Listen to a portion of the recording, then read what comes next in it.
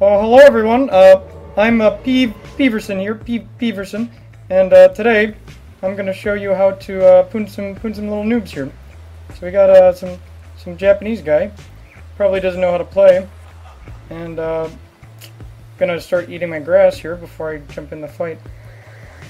Um, it's really quite simple. You just equip the Chaos Blade, and uh, just uh, just go to town a few times and parry and uh, you just you gotta parry people because these guys don't really know what they're doing all the time.